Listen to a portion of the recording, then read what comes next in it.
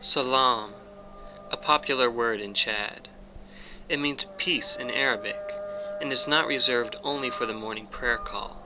You can hear it on the streets in the common greeting Assalamu alaikum, the peace of God be upon you, and of course in the reply Walaikum salam, and the peace of God be upon you.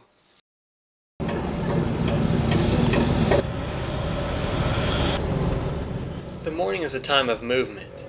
Mashi la madrasa, going to school, purchasing bread, or more specifically, khubz tishadi, Chadian bread, simple but delicious bread, or transporting goods to the market. Asuk, the market, is centrally located in the capital. It is the economic heart of N'Djamena, and a boggling volume of transactions take place there throughout the week. Asuk is an exciting place to be, and it should make the destination list of every tourist visiting the area.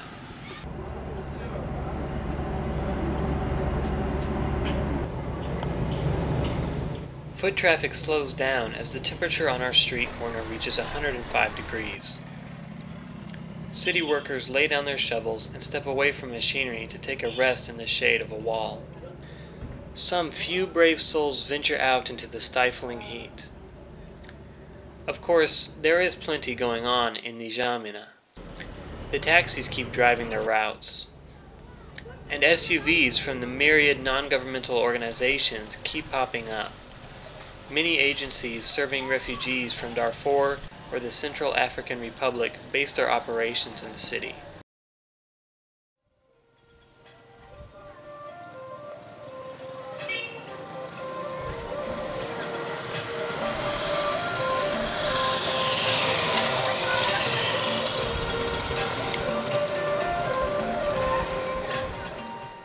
Someone in a nearby storefront turns on a stereo and showers the block with music.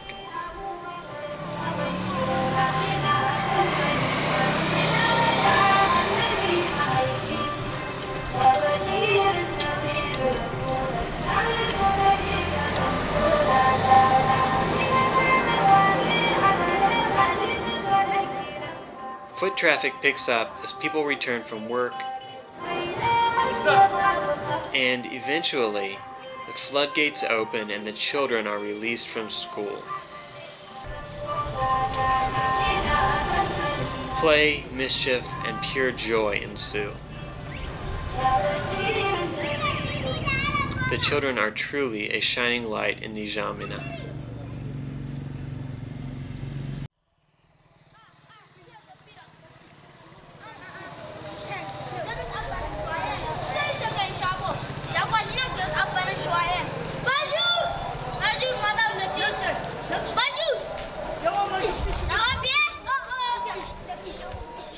Only a couple hours after sundown, the streets are abandoned. But it is only a matter of time until the prayer calls and the activity and the excitement all start again on this one street corner in the immensity of Chadian life.